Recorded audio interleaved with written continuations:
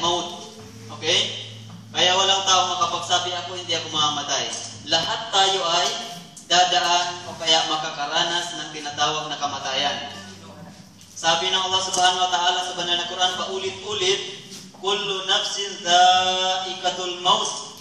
Ang lahat ng may buhay ay makakaranas ng tinatawag na kamatayan. At wala rin po taong babalik sa mundong ito kapag siya'y namatay na. Walang taong namatay at babalik sa lupang ito o sa mundong ito. Kundi kapag ang tao ay namatay, pupunta na sila saan? Sa ibang buhay, doon sa libingan, buhay sa libingan.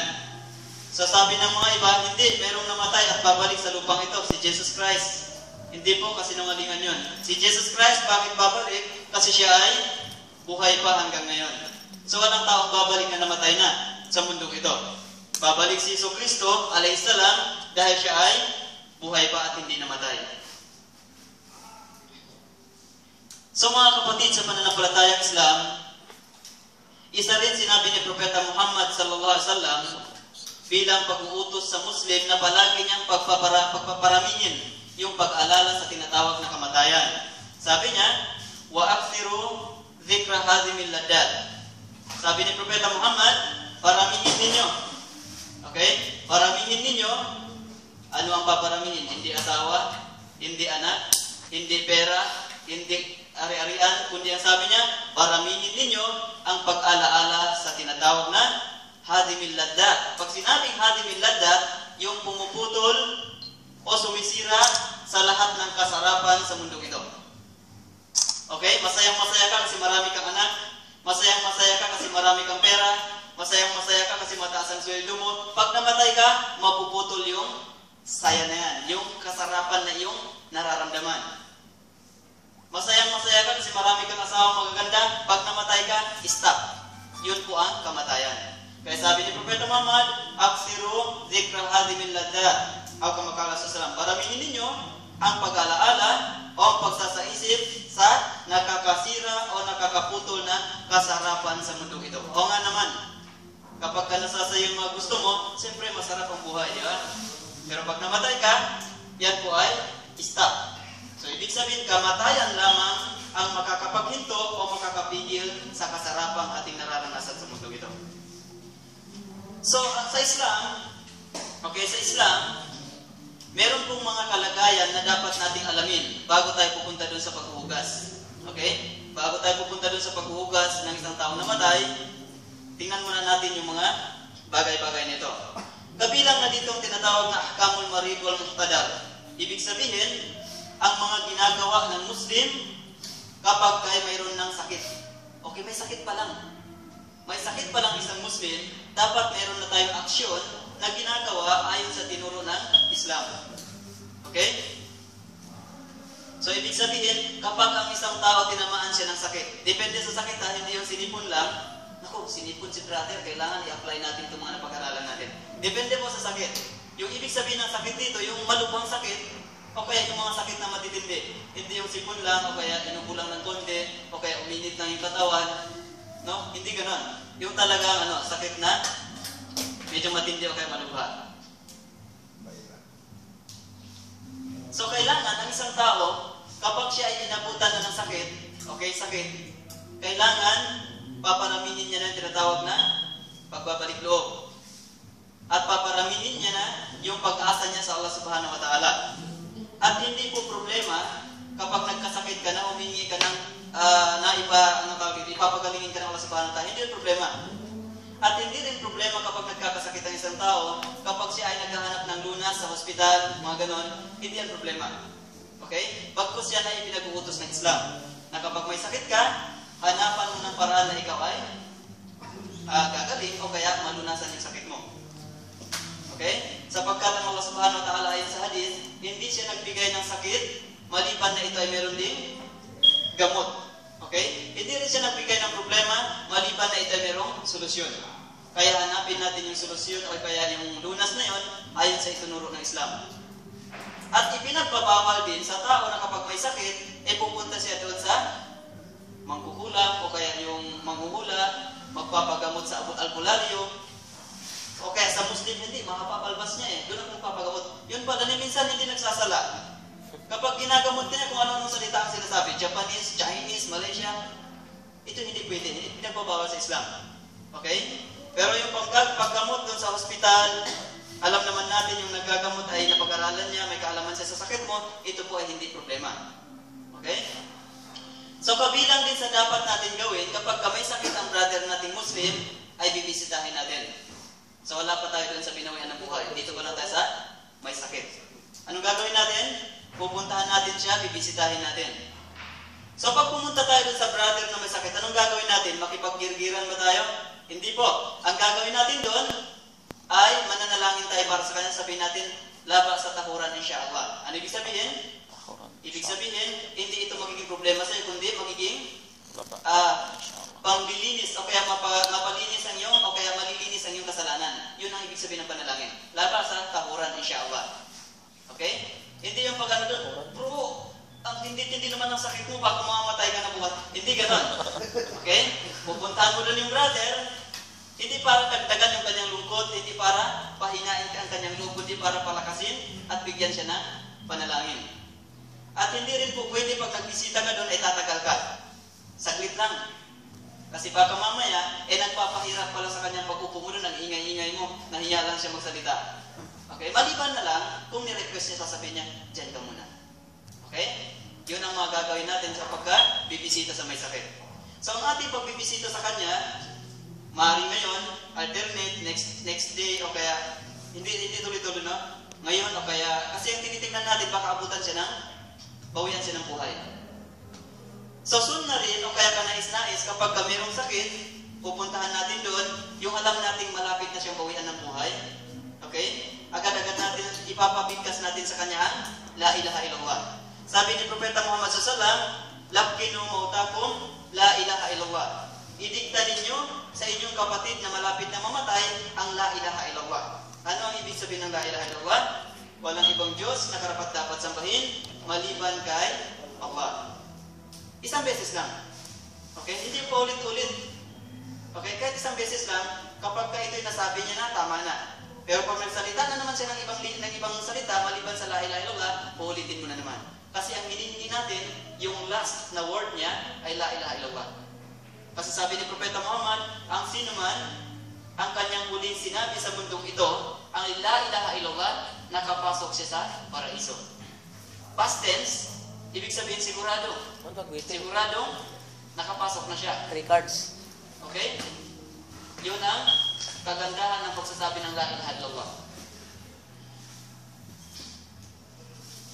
So isa rin sa sunna o kaya kanais-nais na gawin ng isang Muslim kapag ka nakita niya ang kanyang kapatid ay nakihingalo o kaya malapit ng mamatay o bawian ng buhay, magbasa siya ng Surah Yasin. Okay? Magbabasa ng Surah Yasin. Kasi ang Surah Yasin, ito ay nagpapadali sa paglalabas ng kaluluwa. Pero pag natigok na, namatay na, huwag na pong magbasa ng Surah Yasin. Kasi marami tayong kapatid na Muslim, magbabasa lang ng Surah Yasin pag namatay na. O kaya pag ilibing na, saka lang magbabasa ng Surah Yasin. Ito po ay bid'ah, kabaliktaran, salungat sa tinuro ni Propeta Muhammad. Magbabasa ng Surah Yasin bago matay. Hindi yung pagkatapos na namatay o kaya nalibing na. Okay, nabawa natin? So yun ang mga bagay-bagay na dapat natin gawin kapag may sakit na.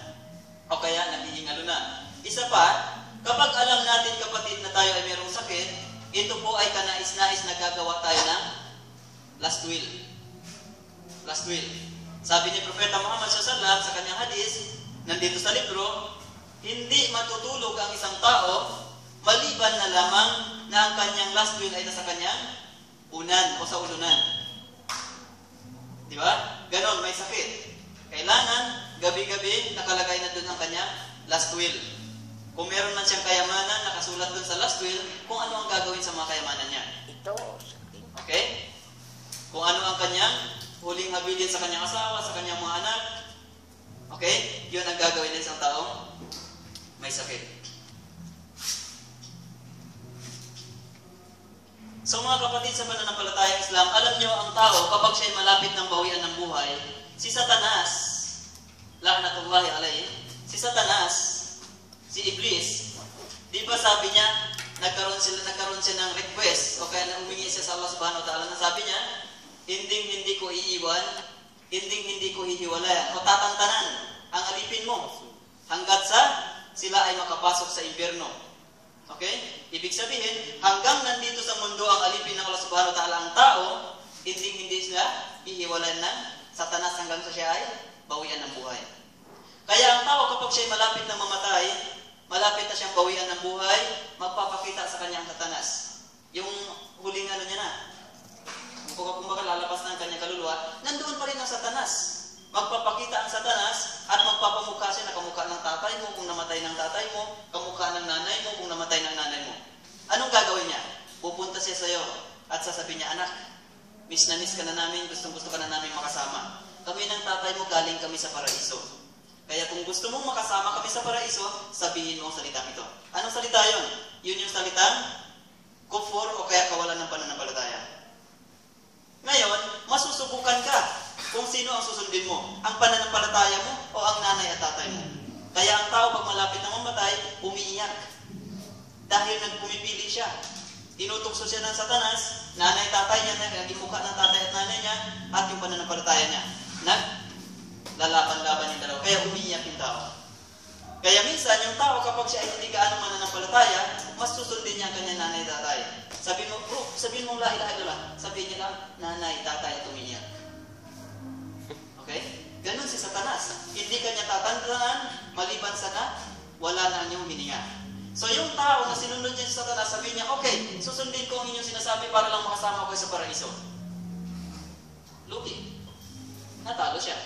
Pero kapag mananampalataya, hindi hindi niya susundin yun. Kasi alam niya, nanay tatay niya, hindi naman babalik.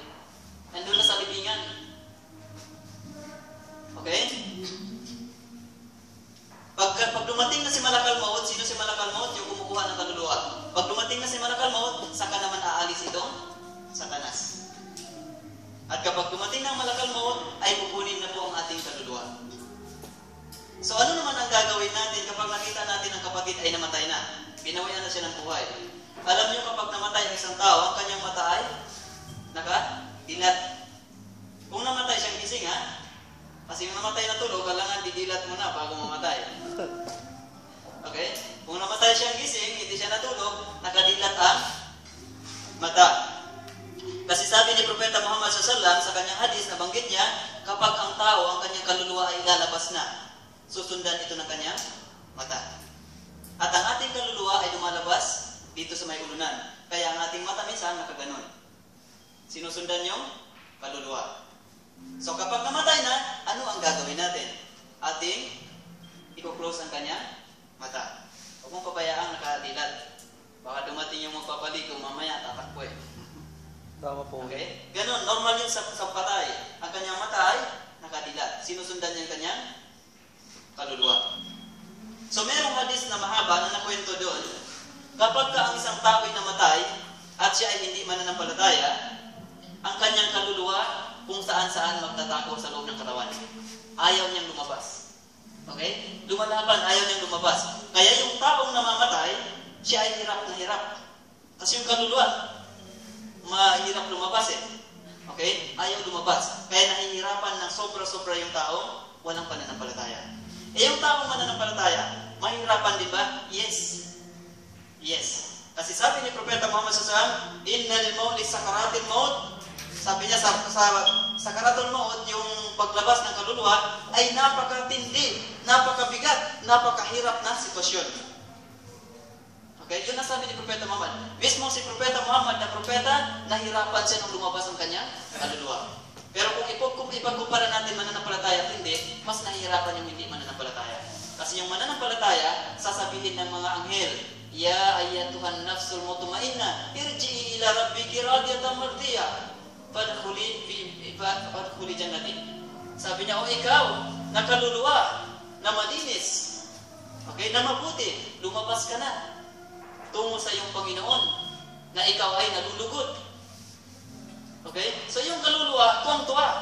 Gustong-gusto niyang lumabas kasi inutusan na siya ng anghel na makakapasok siya sa paraiso.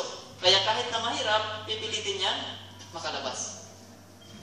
So matindi po ang sakaratul maut. Yung paglabas ng ating kaluluwa, yan ang sitwasyon o kalagayan na napaka-hirap o kaya napakabigat sa isang tao. At sabi pa ng, hindi ako nagkakamali, ito ay salita ng mga scholar natin, ang paglabas ng kaluluwa ay mas mahirap pa o kaya mas matindi pa kaysa sa ikaw ay tatamaan ng espada. Okay? So ngayon, punta tayo ngayon sa pagpapaligo. Namatay na eh. Namatay na. Punta tayo ngayon sa paraan ng pagliligo. Paraan ng pagliligo. Tagsilul may. Paano natin paliliguan ng patay? Kapag namatay na yung tao, pagkatapos natin ipikit ang kanyang mata, ang mga joint, yung kanyang kamay, ay ating galaw-galawin. Okay? Galaw-galawin natin to. Bakit natin galaw-galawin? Para mas madali kapag kapaliguan na. Okay? Galaw-galawin yung ano niya, ito, para mamaya pagka hinubad natin yung damit, hindi tayo mahirapan. Eh kaysa naman na ganyan. Madali lang bro, pag namatay yun na yun, titigas na. Kaya kailangan i-follow up ng galaw-galaw. Pati yung dito niya, galaw-galaw. Kasi pagka hindi mo ginalaw, titigas yan. Pagka pinilit mo, mamaya, kawawa naman. So sa Islam, take note, sa Islam, ang patay, ang ating pagrespeto at paggalang sa kanila ay katulad ng buhay. Okay? Katulad ng buhay sa Islam. Kaya ang patay sa Islam, kahit bubuhatin ay dahan-dahan. At ang private part ng buhay, private part din ng patay. Ang patay sa Islam, hindi po pwedeng hubaran. Ang kanyang private part, galing puso at saka tuhod ay tinatabunan.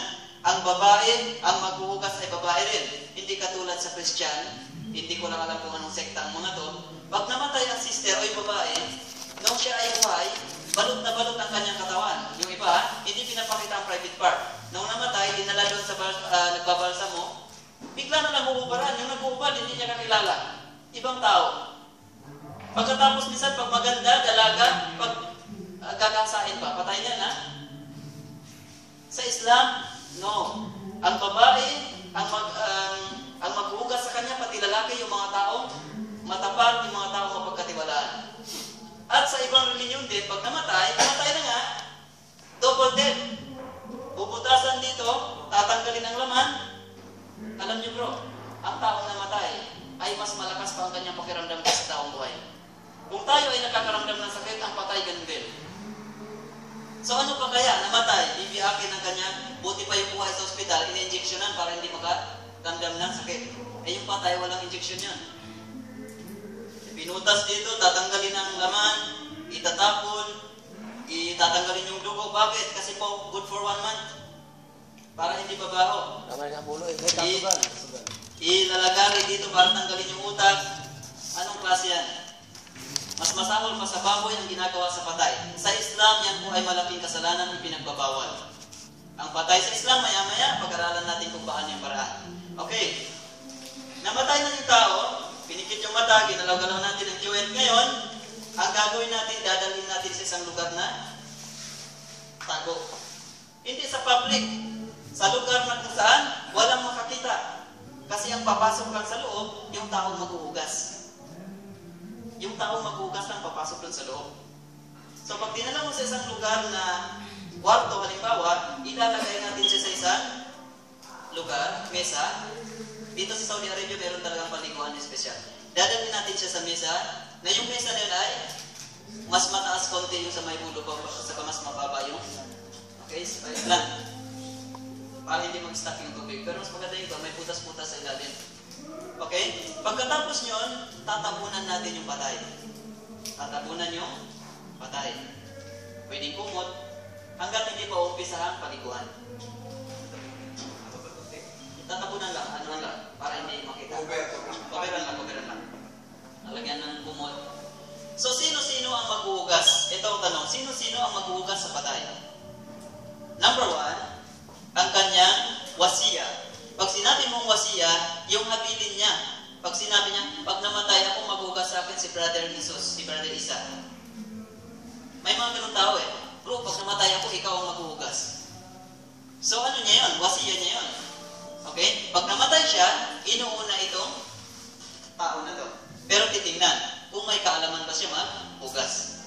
Kung may kaalaman siya maghugas, siya yung number one na inuuna, kinukonsidera na maghugas. Pero kung walang kaalaman, tabi ka muna bro. Kahit na ikaw yung wasiya, tabi ka muna. Baka mamaya kung ano nung gagawin mo sa patay, hindi naman pala karapat dapat. Okay? So ibig sabihin, number one, nakatangian na maghugas, merong kaalaman sa paghugas. So, inshallah, sa mga pagkakataon ito, napabilang na kayo sa mga may kaalaman na maghugas. Eh kung sakaling inappoint kayo ng brother, bro, pag namatay ako, ikaw maghugas. So yan ay, ikaw ang number one na maghugas. Okay? Wasiya. Pagkatapos ng wasiya, sino pa? Ang kanyang tatay. Kung buhay pa ang tatay natin. Ang tatay natin ang maghugas sa atin. Kung may kaalaman siya sa paraan ng paghugas. Kung wala, hanap pa rin tayo ng may kaalaman. Pagkatapos ng tatay, ang lolo kung buhay pa. Pero paano yung lolo? Yung tatay nga, patay na eh. Lolo pa kaya? Masakaling buhay pa ang lolo, lolo ang susunod na maghugas. Okay?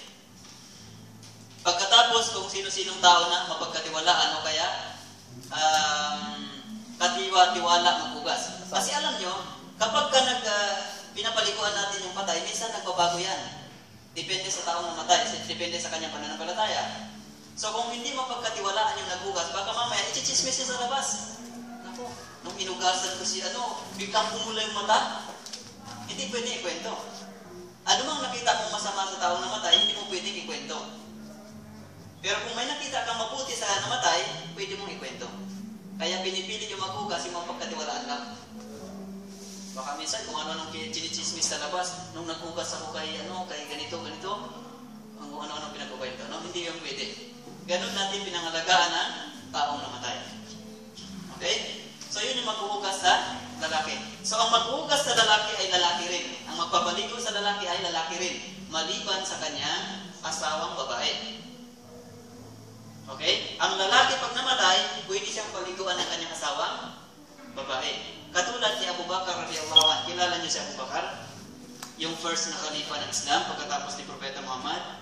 Siya yung naging successor o yung naging khalifa. Si Abu Bakar, nung namatay siya, sino na nagpaligo sa kanya? Ang kanyang asawa, na si Asma bint Umaysh. Okay? Si, ang kanyang asawa ang nagpaligo sa kanya. Yun ang kanyang request. Pag namatay siya, ang kanyang asawa naman nagpaligo sa kanya. So, ibig sabihin, pwede kang paliguan ng asawa mo, bro, pag namatay ka. Okay? Eh, yung babae, sino naman ang magpapaligo sa babae? Ang magpapaligo din sa babae ay babae rin. Maliban niyang lalaki. Ang asawa niya, pwedeng paliguan si sister ng kanyang asawa pag namatay si sister. Katulad ni Ali bin Abi Talib. Kilala niyo si Ali? Pang-apat na khalifa. Si Ali bin Abi Talib, nung namatay siya, namatay ang kanyang asawa na si Fatima, siya ang nagpaligo. Okay? Kaya kayo, kung mas panatag ang inyong loob, kayo na rin magpaligo sa inyong asawa. O kaya kung nauna man tayo mamatay, ang ating asawa magpaligo sa atin. Kung sakaling mamatay tayo sa Pinas. Dapat turuan talaga. turuan mo na bro, pag Okay? O dapat turuan talaga. So yun, alam na natin sino magpapaligo. At yung bata, yung bata na hindi pa umabot ng 7 years old, bababa, kahit babae o lalaki magpaligo sa kanya, walang problema. Okay?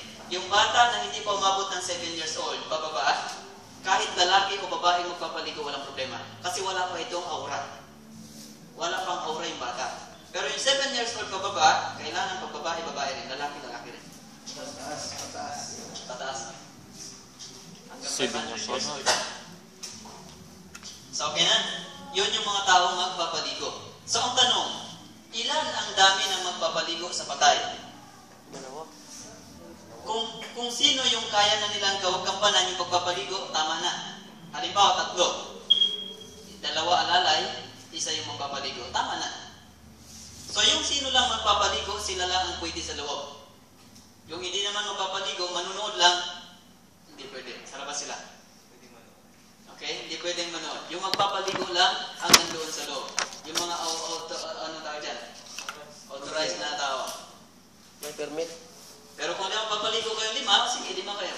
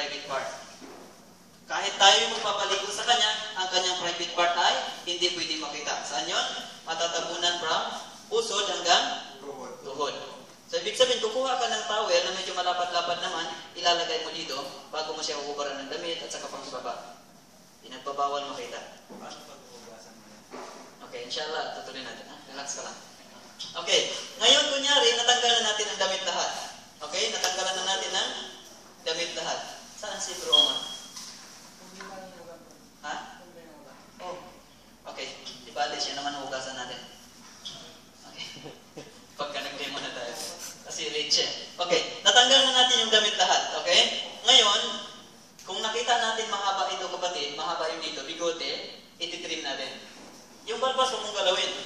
Baka sabihin mo, para maging artista, eh, tanggalin na rin natin. No, bawal. Okay, itrim lang natin yung bigote. Ano pa? Puputulan natin ng Kuko. kuko.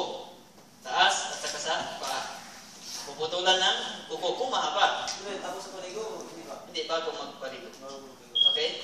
At saka kung nakita natin mahaba din ang buhok sa kilikili, gugupitan din natin. Kung kaya. Pag hindi kaya, huwag natin pilitin. Okay? At kung meron man siyang anak na napakalapit sa kanya, pwedeng tingnan niya sa kanyang pubic hair. Kung mahaba, puputulan din. Pero kung wala, hindi na natin gagalawin. Okay? So kunyari tapos na. Na-trim na yung bigote, pati yung dito, pati yung sa may kuko. Anong susunod natin gagawin? Ang susunod natin gawin, papaupuin yung kanyang kalahating katawan. Di ba nakahiga? Igaganon natin yung kanyang ulo, iaangat natin, at pipisilin natin yung kanyang tiyan. Bakit pipisilin ang tiyan? Para lumabas ang dumi, kung meron na. Okay? Pipisilin natin para lalabas ang dumi. Pag lumabas na ang dumi, ang kasunod niyan ay bubuhusan mo ng tubig yung dito banda. Para yung dumi ay bababa. Okay? Bababa yung dumi. Papatayin natin at hihilutin yung kanyang tiyan para lalabas yung dumi. Pagkatapos bubuhusan ng tubig para bababa yung dumi. At i-check mo rin ang kanyang puwet pero yung diretso. Gamit ka ng Buntis. tissue Oh, tissue. o kaya panyo para yun ang pag-check, panglinis mo sa puwet ng namaday. Okay? Ang tawag doon is tinja. Pag may nakita ka pa rin, paulit-ulit yun hanggat sa wala ka nang makitang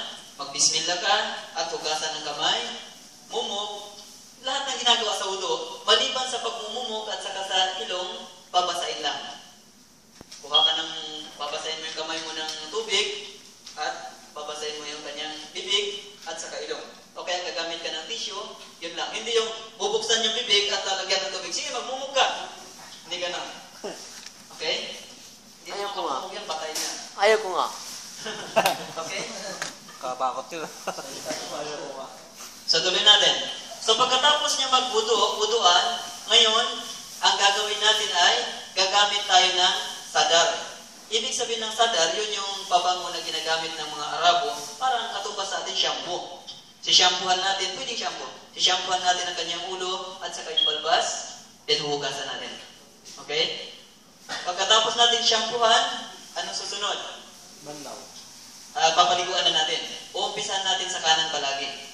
Kanan, dito, kanan, lahat kanan, pati sa likod. Kung pwede mong itagilid, para lang maliguan yung kanan, sige. Pagkatapos kaliwa naman.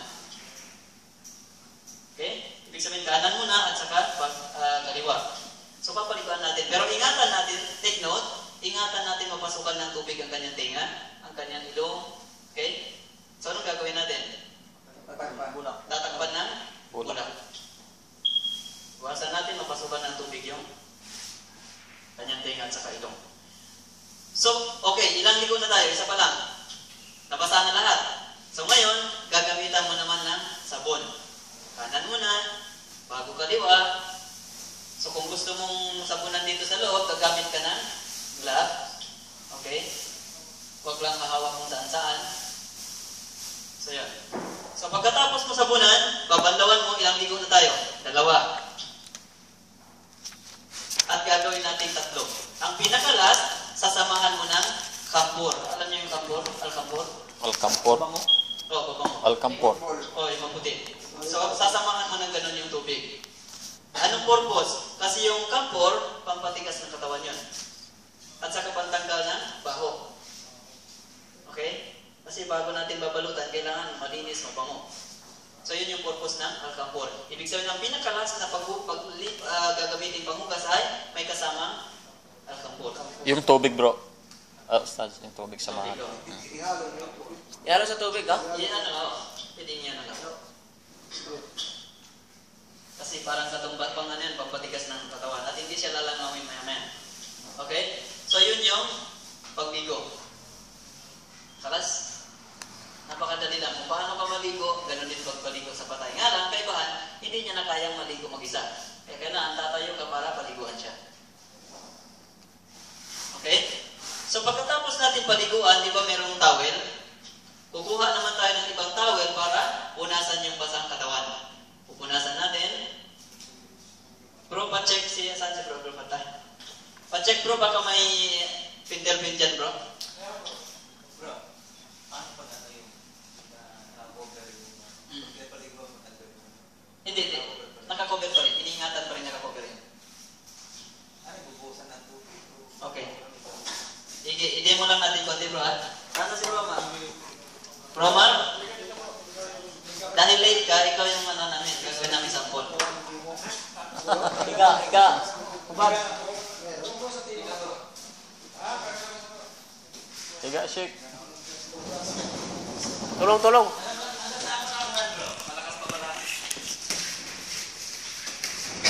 Dandahan lang. Tira.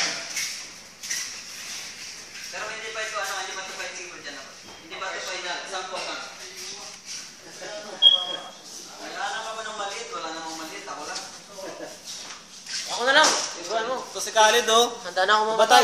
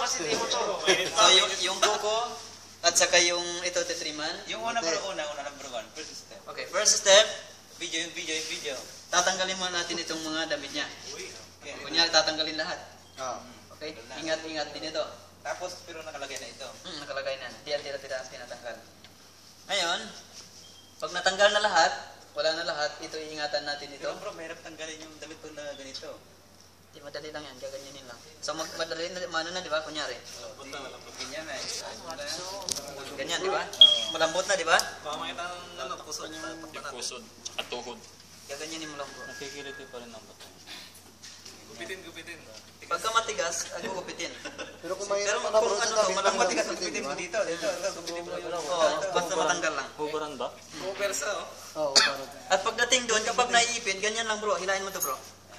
Hilahin mo, yan. Pag naipit, ganunin mo lang. Yan, ganyan lang. Pero ito, ingat, ingat. Iyan, ito pa. Ganun din, pag naipit yan, hilahin naman ito kabila. Gandahan yung tuhod. Kaya ganun lang. Hindi ka matanggal yung kamay, hindi naman siguro. Hindi, hindi, matigas pa yan. pag na ano na lahat, pagka natanggal na lahat bro, okay. Trim, at saka kuko. Oo. Pagkatapos, papaupuin ito. Ah, Ito ka bro, bigat-bigat mo bro. Yan, papaupuin. Huwag mo po masyado bro, huwag masyado. Huwag masyado, konti lang. Ganyan na, oh. Tapos, Di ba tayo tumatawa? Okay, okay, pag lumabas na bro.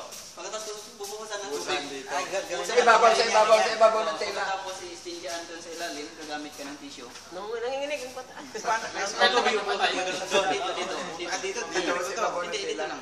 Papasok yung tubig sa ano, sa. Ah, dyan lang. Ah, Bibili ka na ng tubig sa ahos. Pwede rin, pwede. Hindi, halimbawa, binuhusan mo na dyan. Ang bigat mo kasi. Ngayon, yung nandun, punasan mo na lang. Oo, gaanan mo ng tissue. Gagamit ka ng, ano, gagamit ka ng gloves at may tissue, yun ang panlinis sa kanyang Ganun puwit. mo na lang, ganyan Oo. Kung host, kung Baka host, host kasi. Pagkawala ng ano, pagkawala ng dumi, o mag, ano ka na, mag-intention ka na. Napapaliguan mo na siya. Tapos wudo. Ano ba umauna? Ligo o budo? Wudo muna. Bismillah. No, wudo, tatlo. Then, kuha ka ng? Yung kanan. kanan, ano mo na, kamay mo. Kanan. Bismillah. Ah, dalawa, dalawa. Sabay-sabay sila. Hawakan mo yung dalawang ganyan, tapos ito muna. No, mo ng tubig. Sabay yan. Sabay na magbuhudo. Tapos ito, gaganunin mo na lang ng kamay mo. Tubig. Papasahin, pati yung sa ilong. Di ba magkontes yun? Ganun Oo, mo na lang, tapos ganyan. Okay. Pagkatapos, babasahin mo ang kanyang face. Sige na bro, nagugas din na bro. Tatlong beses. Pagkatapos, kanan. Braso, di ba? Yung pag-uudo talaga. Tatlong beses. Ito rin. Yan, basahin lahat. Pagkatapos, uh, igaganon at hmm, then pa. Then kalas na. Kukuha tayo ng tubig. Ay ano muna, shampoo. Shampoo. Shampoohan mo tong kanyang ulo. Shampoo ng kabayo. Sa tibalbas. Pagkatapos nyon, pap- papanlawan mo. Pagkatapos papaliguan, kanan muna. Dito lahat, kanan. Buhusan na ng tubig, buhos. Mm. Tagilid. Pagkatapos sa likod naman, okay, kaganin lang yan. Hindi, pati yung bird bro.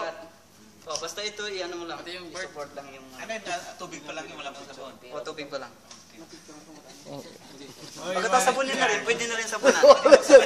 Alam ng patay mo ah. Okay. Ligo tapos sabunan. Tapos kaliwa naman, ganoon lang. Ganun lang kasimple. Yan. Eh, di ba? Buhusan mo Hindi, kung makita dyan, pipikit na lang. Pagkatapos, ano. pagkatapos babanlawan. Katulad ng ganun. ba, lang sa, sand lang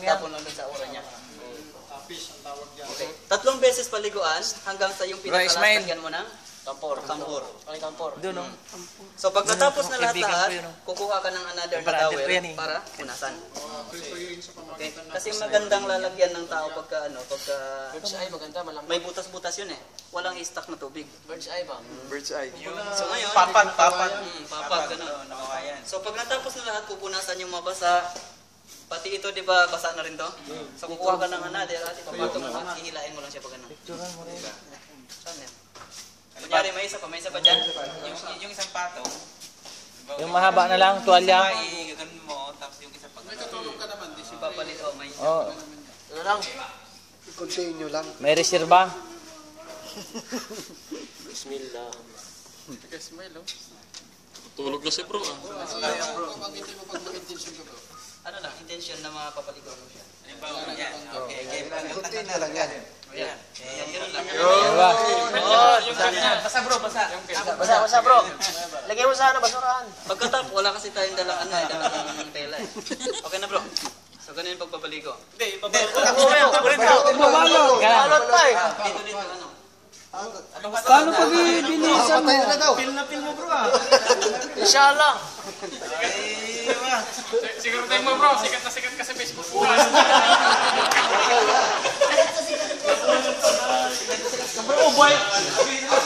Balik mo bro. Mamaya. Mamaya na naka-upload na bro. yan. Nasaan yung filter din bro? Sa Facebook. Mamaya naka-upload na eh. Saan si Robert Bata? Si Kelvin bro. Artista na bro. Ganyan bro. Ay, ito na, na. 1 million yung nag-like bro. Ang hugasan natin lalaki, di ba? Pagkatapos natin siya hugasan, kung meron ng ibang lugar na ililipat natin siya para balutin, pwede. Pero kung walang lugar, pwede na rin natin siya balutan dyan. Kahit basahin tela. Kahit mabasa. Salita na lang. Bro, paano paano Sa ibang lamin bro. Ano bubuhatin, ano? Mga paslasin buhat. Oo, gano'n. Ingatan lang na mabagsak. Napatay na pagsak na rin. Okay. Ang dami ng tela na pambalot sa brother, ang pinakamainam ay puti. Puti na malinis. Pinakamainam, pinakasunod na, malaking reward, puti. Ilang piraso? Tatlo. Ilang metro? Ilang sukat? Ang sukat, kasing haba niya at lalamangan mo pa ng mga dalawang tangkal. Yung isa, yung isa, chef, pwede yun. Ha? Yung isa, Isa? sa karida. Maliit yun eh. Kailangan yung kapag, kailangan kapag kabinalot mo sa kanya, mababalutan siya. Ay, abot ng gaulo. Oh, yung lapat kasi ng isa, parang kulang eh. Hanggang dito na. Pagka binalot mo ng Kumot gano'n, ka kayo. kailangan Kumot na puti na lang bro. Halimbawa, ito yung tao. Okay? So yung kanyang tela ay Lagpas ulo. lampas ulo. Ayun. Sige. Ilang piraso? Tatlo. Tatlo. At yung tela na ito, kailangan pagka binalot mo sa kanya, mababalutan siya. Hindi yung malaki yung tiyan, halimbawa, labas dito. Isa una po pa yan. Kailangan balutan. Yung una. Pare-pareho yung laki niyan, tatlo na yan. Yung yung na yung pare-pareho na yung Oo, pare-pareho yung laki. Puluputan siya. yung laki. Basta mapulot ka ng tayo, basta mapulutan. May dalawang base na pulutan. Hindi yung madabuhan ng. So, okay na. Diba? Ganyan. Ngayon, ipagpatong-patong mo yan lahat. Okay? Ipagpatong-patong natin lahat. Pero kukuha muna tayo dito ng pantali. Ang pantali, kukunin din dito. Pero kung halimbawa manipis, o kaya ay, ano tawag dito, hindi naman siya malapad, kukuha ka na lang sa ibang tela na pantali. Ilang pantali? Seven. One, two, three, four, five, six, seven. Ilalagay,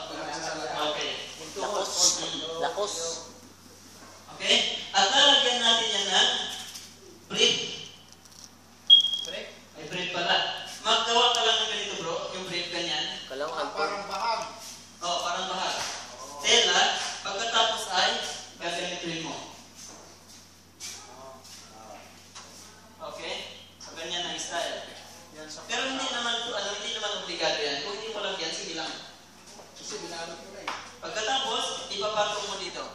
So, mayroon na tayo ganyan. Puwita? Sa may puwita. Eh, saan ba nilalagay?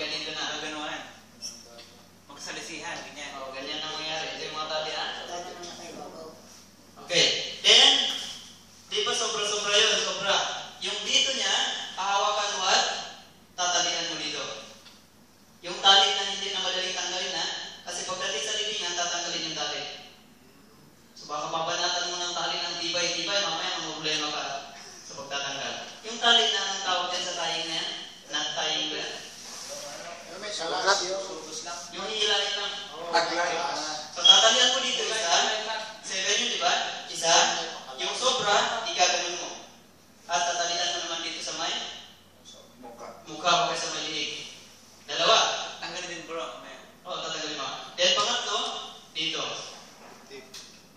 Then pang-apat, dito. Pang-lima, tuhod. Pang-anim, at pang-pito. Kasi ibabalik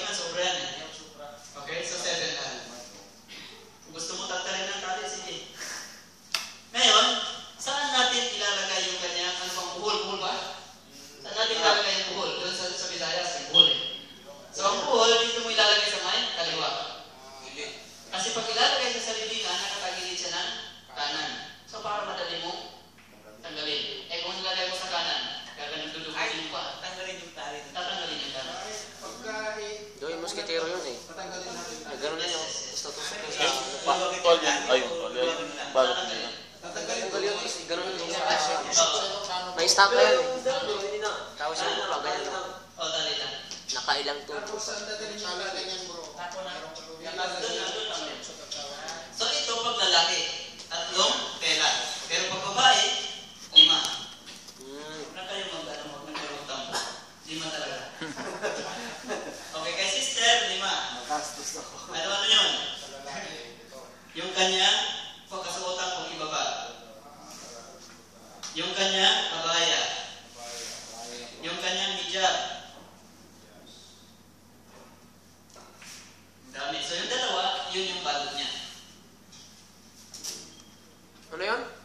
abaya, hijab.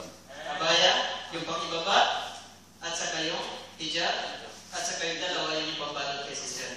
Lima. So yung hijab, ganito lang. Ang kulay. Bago mo ilalagay sa may ulunan, lagyan mo na ng butas. Sa mukha. Hijab, di ba ganyan yun? Oo, oh, sa mukha. At saka itong abaya, mahaba yan. Anong kulay yan? White. Ganyan. Bago mo siya ilalagay, lagyan mo yang punya. Hmm. Para pagkakay mo jalan gaganunin mo lang. Hmm. Kaya na. Okay? Sa yung balot, kita din. Abaya sa tali natin. Ay, balot din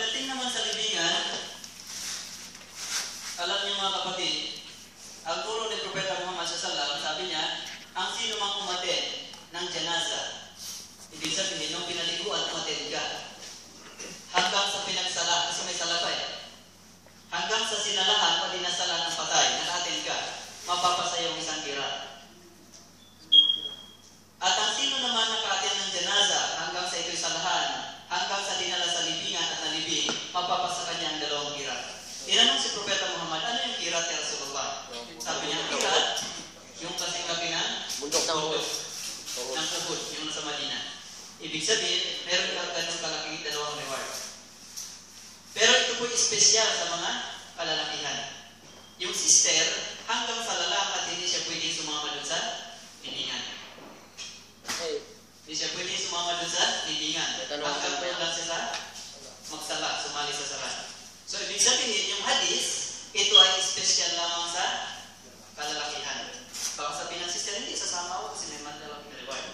Ano yung pinapaypayan? Kahit asawa niya bro,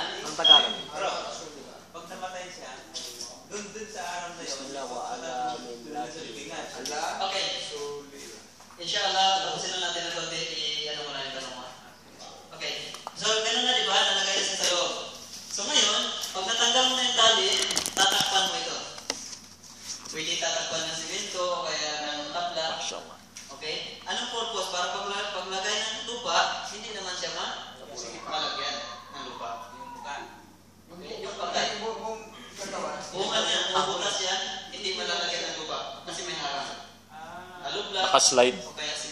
Ah, ganun. O, oh, na ganyan. Ang ginagawa sa mga cemetery na Muslim, meron na silang simento na ganyan kalaki. Sa Montalban, ganyan eh. Ngayon, ilalagay na lang yun dyan. Yung butas na yan. Nandito yung patay. Ibig sabihin, nandyan yung patay. Malalagyan naman ito na harang. Para pag nilagyan ng lupa, hindi siya matagulan. Matagulan. Oo, oh, may tanong ako. Ano tayo ng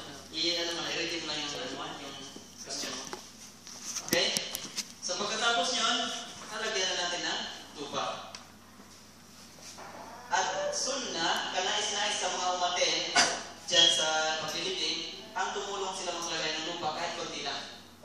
Ako, ano pa pala eh. Meron kang reward.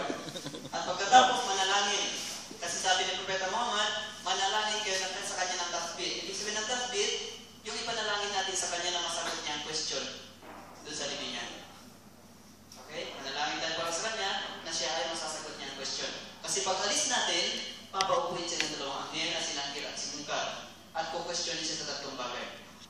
Kaya yung tatlong bagay nito mga kapatid, bago itatanong sa atin, pag-aralan na natin habang tayo bubuhay pa. Kasi wala na pong pag-aaral pag tayo sa Manrabo ka. Ayun ano ba yun? Ano tatlong bagay na yun? Sino ang iyong Panginoon? Ano ang iyong religion? At anong masasabi mo sa taong pinadala sa ating panahon na si Propeta Muhammad? So, ibig sabihin, pag-aralan natin patungkol sa Allah, patungkol sa Islam, patungkol kay Propeta Muhammad. Kasi pag tinanong na tayo doon, imamu ka. Kaya pag ka. Mandino ka. Mandino. Man... Iyo. Ano ko ba nakalimutan So dahil medyo late na ating ano, ang ating oras. Mandino ka, mandrabo ka. Ayaw naman, ayaw naman natin umaguhin kayo. Mamu ka. Imamu ka. Yung hukay, pantay lang. Yung hukay? Pantay. Anong yung relihiyon? Wala, ano, ganyan ako. Hukay ka?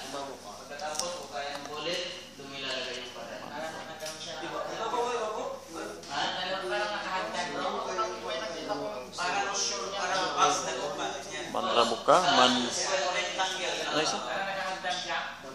Oh, hindi pa ko kahit ng bantay pa lupa yan, lupa. Mandino ka. Hindi pa lupa yan. Mag-ukay ka ng ganon? Imamo ka. Then, ukay ka pa ng ulit? Kasi tagilid nga ito ba eh. At dyan na sila kay? At dito ay? Ito, ano? Ito religion ko eh. Style na